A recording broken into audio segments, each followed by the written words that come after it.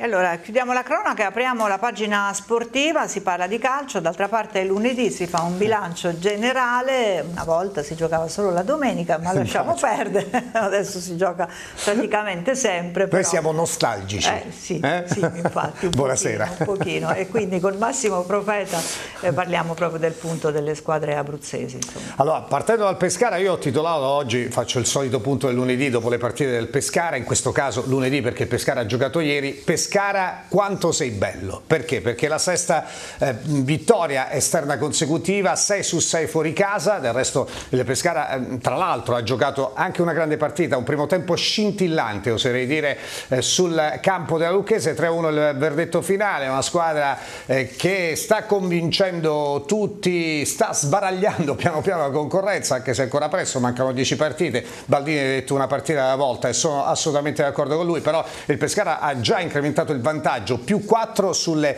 immediate inseguitrici, con una gara, lo ricordiamo ancora una volta, da recuperare contro il Milan futuro all'Adriatico Giovanni Cornacchia giovedì 21 novembre alle 20.45. Ehm, di fatto il, eh, si gioca subito perché c'è un turno infrasettimanale da onorare, eh, il Pescara affronterà il Pontedera mercoledì sera alle 20.45 davanti al pubblico amico, il dato eh, relativo agli spettatori, la prevendita è già partita da qualche giorno, 700 biglietti venduti fino a qualche ora fa, compreso gli abbonati siamo a 2500, insomma ci sono ancora due giorni, quindi si spera in una, in una buona cornice di pubblico mercoledì sera contro il Pontelera che è una squadra che sta navigando diciamo così ai bassi fondi della classifica, ha avuto una partenza complicata, ha cambiato l'allenatore, non c'è più Agostini, adesso è stato chiamato, eh, diciamo è stato ingaggiato Leonardo Menichini che è un allenatore molto esperto, Marina 71 anni da compiere, è vice storico del compianto Carlo Mazzone, nelle tre partite della sua gestione, quattro punti, viene dal pareggio interno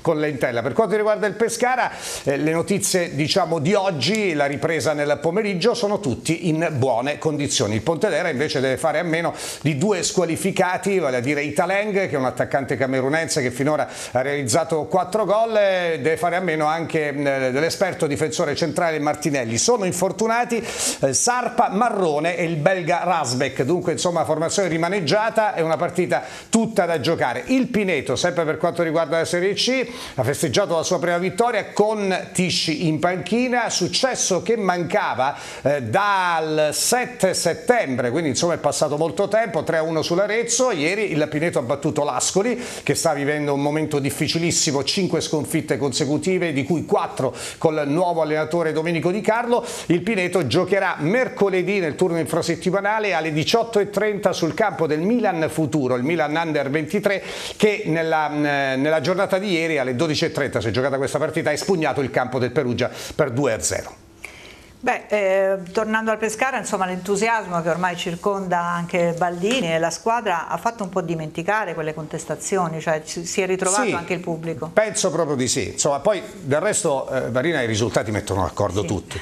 Quando eh, si vince va sempre esatto, bene. va sempre bene, Se, mm, ci mettiamo anche che c'è il conforto delle prestazioni perché nelle ultime tre partite il Pescara sta anche convincendo tantissimo sul piano del gioco, l'ha detto lo stesso Baldini, questo è un buon viatico assolutamente dopo tutto quello che c'è stato in passato a cui facevi riferimento tu.